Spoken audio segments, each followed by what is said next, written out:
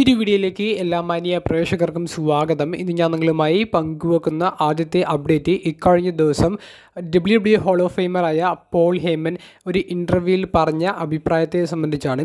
Paul ഹേമനോട് interviewer ചോദിക്കുന്നത് Paul ഹേമന്റെ ഗ്രേറ്റസ്റ്റ് ഡബ്ല്യു ഡബ്ല്യു സൂപ്പർ സ്റ്റാർസിന്റെ ലിസ്റ്റിലെ മൂന്ന് പേരെ പറയാനാണ്. അതിൽ രണ്ട് പേരുടെ പേര് പോൾ ഹേമൻ വെളിപ്പെടുത്തുകയുണ്ടായി. ആ രണ്ട് പേര് മറ്റാരുമല്ല.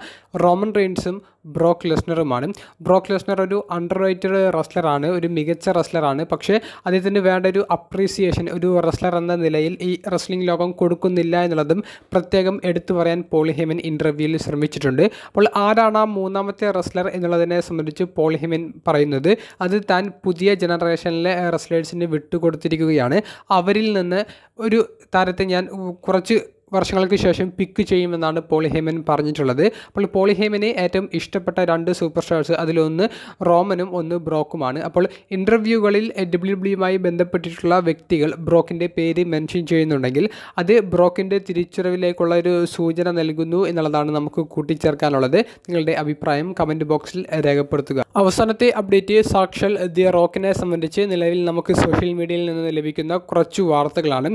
ഡബ്ല്യു ഡബ്ല്യുയിലേക്കുള്ള റോക്കിന്റെ തിരിച്ചുവരവിന്റെ കാരണം. റോക്ക് തന്നെ ഇന്റർവ്യൂവിൽ പറയുന്നത് ഡബ്ല്യു ഡബ്ല്യുടെ പ്രസിഡന്റായ നിഗ്ഗാനുമായിട്ടുള്ള ആ ഒരു റിലേഷൻഷിപ്പാണ് അദ്ദേഹം മൂലമാണ് ഡബ്ല്യു ഡബ്ല്യുയിലേക്ക് താൻ തിരികെ വന്നത് എന്നുള്ളത് റോക്ക് വെളിപ്പെടുത്തുകയുണ്ടായി. അതുപോലെ തന്നെ ടി കെ ഒ എന്ന് പറയുന്ന പുതിയ കമ്പനിയെ ഉന്നത തലത്തിലേക്ക് എത്തിക്കാനും തന്റെ തിരിച്ചുവരവ് തനിക്ക് കൂടുതൽ പ്രചോദനമായി എന്നുള്ളതും റോക്ക് പറയുന്നുണ്ട്.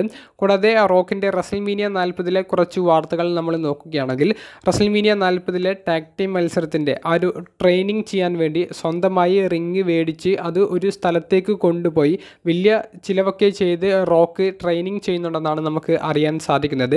അപ്പോൾ ട്രെയിനിങ് സെക്ഷനിൽ റോക്കിനെ സഹായിക്കാൻ വേണ്ടി എനക്സ്റ്റി എന്ന ബ്രാൻഡിലെ ഫാക്ഷനായ ഗേലസ് എന്ന റസ്ലേഴ്സാണ് റോക്കിന്റെ കൂടെയുള്ളത്. ഒരു സൂപ്പർവൈസർ പോലെ ഇഞ്ചുറി മൂലം ഇപ്പോൾ ഡബ്ല്യു ഡബ്ല്യുയിൽ നിന്ന് മാറി ഒരു ബാക്ക് സ്റ്റേജ് പ്രൊഡ്യൂസർ റോൾ ചെയ്യുന്ന ബോബി റോഡും റോക്കിന്റെ ഒപ്പമുണ്ടെന്ന് നമുക്ക് ഇ എസ് പി എൻ എന്ന വെബ്സൈറ്റിൽ നിന്ന് ലഭിച്ച ഒരു അപ്ഡേറ്റിൽ വളരെ കൃത്യമായി മനസ്സിലാക്കാൻ സാധിക്കുന്നുണ്ട്. അപ്പോൾ റോക്ക് കൃത്യമായി ട്രെയിനിങ് എടുത്ത് റിഹേഴ്സലൊക്കെ ചെയ്തിട്ടാണ് റസൽമീനിയ നാൽപ്പതിലെ ആ ഒരു ടാക് ടീം മത്സരത്തിലേക്ക് വരുന്നത്. കൂടാതെ റോക്ക് റസൽമീനിയ നാൽപ്പത് കഴിഞ്ഞാൽ ഡബ്ല്യു ഡബ്ല്യുടെ ഭാഗം ആയിരിക്കുമോ? ഇനിയും തുടർന്നുള്ള സ്റ്റോറി ലൈനിൽ ഉണ്ടായിരിക്കുമോ എന്നുള്ളതിനെ സംബന്ധിച്ച് ഡബ്ല്യു ഡബ്ല്യു പ്രസിഡന്റായ നിക് ഗാനി ഇക്കഴിഞ്ഞ ദിവസത്തെ ഇന്റർവ്യൂവിൽ പറയുന്നത് റോക്ക് റസൽമീനിയ കഴിഞ്ഞാൽ ഒരു സിനിമയുടെ ഷൂട്ടിന്റെ ഭാഗമായി ഹോളിവുഡിലേക്ക് തിരികെ പോകും എന്നുള്ളതാണ്. അപ്പോൾ തിരിച്ചുറവ് എന്നായിരിക്കും എന്നുള്ളത് നിക് ഗാൻ വെളിപ്പെടുത്തിയിട്ടില്ല. എന്നാൽ കഴിഞ്ഞ ദിവസത്തെ ഒരു ഇന്റർവ്യൂവിൽ റോക്കിനോട് സമാനമായ ഒരു ചോദ്യം ചോദിച്ചപ്പോൾ ഇനിയും താൻ വരും എന്നുള്ളതാണ് റോക്ക് കൊടുത്ത ഒരു മറുപടി. അതിനർത്ഥം റസൽമീനിയ കഴിഞ്ഞ പിറ്റേ ദിവസം നടക്കുന്ന റോ എപ്പിസോഡിൽ അപ്പിയർ ചെയ്യുമെന്നല്ല. എന്നാൽ വരുന്ന ഏതെങ്കിലും ഒരു വീക്കിലി എപ്പിസോഡിൽ താൻ അപ്പിയർ ചെയ്യുമെന്നുള്ളത് റോക്ക് പറയുന്നുണ്ട്. താൻ എന്ന് ഈ ഒരു റിങ് വിട്ടു പോകണം എന്നുള്ളത് താൻ തീരുമാനിക്കുന്നത് വരെ തന്റെ തിരിച്ചുറവിന് എല്ലാവിധ സാധ്യതകളും ഉണ്ട് എന്നുള്ളത് എന്നുള്ളതും റോക്ക് പറയുന്നുണ്ട്. അപ്പോൾ blood line story line WrestleMania നാൽപ്പതോടു കൂടി അവസാനിക്കുന്നില്ല. റോക്കിന്റെ ഒരു സ്റ്റോറി ഇനിയും കാണാൻ സാധിക്കുമെന്നുള്ള സംഭവബഹുലമായിട്ടുള്ള സന്തോഷകരമായ വാർത്തകളൊക്കെയാണ് നിലവിൽ പുറത്തേക്ക് വരുന്നത്.